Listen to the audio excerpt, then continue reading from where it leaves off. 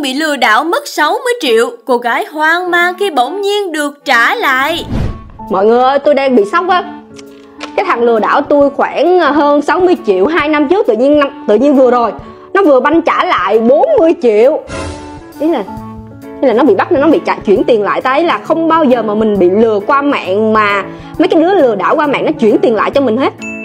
Wow, 40 triệu á mày. Chứ không phải 4 triệu. Một cô gái mới đây vẫn chưa hết hoang mang bàng hoàng khi bất ngờ tài khoản nhận về số tiền hơn 49 triệu đồng. Theo như cô gái chia sẻ cho biết, vào 2 năm trước, cô gái bị một đối tượng lừa đảo và chiếm đoạt tài sản với số tiền hơn 60 triệu đồng. Mặc dù lúc đó cô gái cũng có cố gắng đòi lại với mọi hình thức, nhưng đối tượng này vẫn nhắm mắt làm ngơ, thậm chí là block luôn tài khoản Zalo của cô. Cứ ngỡ số tiền này cô gái sẽ không thể nào lấy lại được, thì bất ngờ hôm nay tài khoản lại nhận được thông báo biến động số dư kèm dòng tin nhắn trả nhé em, hết nợ nha. Hay là nó bị bắt, chắc chắn là nó bị bắt không? Hỏi xem. Tao chặn nó rồi, hai năm trước, hai năm trước tao đòi không được cái Bây giờ mở ra hỏi xem. Ê, nó nhắn tin Zalo. Đâu đâu đâu? Nó nhắn tin Zalo. Nó ghi là trả trả nhé em hết nợ nha. Là tổng cộng nó lừa mình khoảng hơn 60 triệu, sáu mấy triệu á. Bây giờ nó chuyển được 49 triệu và nó ghi hết nợ hơn sao. Ý là tự nhiên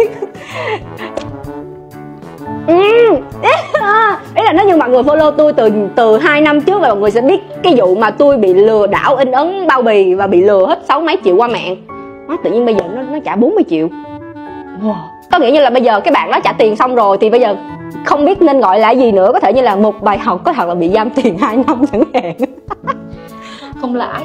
Không lãi mà còn bị mất mười mấy triệu nữa chứ. Sáu mấy triệu mà mà cái mà à, phải gọi là bằng anh đi tại vì người ta trả tiền rồi. Là không hiểu sao tại vì ông này có thể không trả mà đúng không? Tại sao ông lại lựa chọn trả cái số tiền 40 triệu? Ờ, Tâm thức tỉnh xong rồi. Tự nhiên tự nhiên cái lúc trước mình mình mình mình mình khẩu nghiệp mình nguyền rủa người ta mình đến cái chỗ đó mình phát hiện là không có nhà xưởng không có máy móc cái gọi điện chửi quá thì chửi luôn mày ơi mày có trả tiền cho tao không? Này kia kia nọ. Xong giờ tự nhiên người ta chuyển tiền lại cho mình xong rồi tao thấy tao như một một người gì đó rất là ác á Đoạn video ngay sau khi được đăng tải cũng đã khiến dân mạng được fan mở mang tầm mắt bởi lần đầu mới thấy trường hợp như vậy.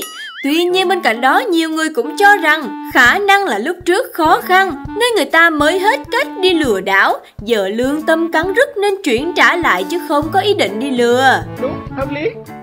Cảm ơn các bạn đã quan tâm theo dõi video. Nhớ nhấn đăng ký kênh tin ngắn 3 phút để xem những video mới mỗi ngày nha.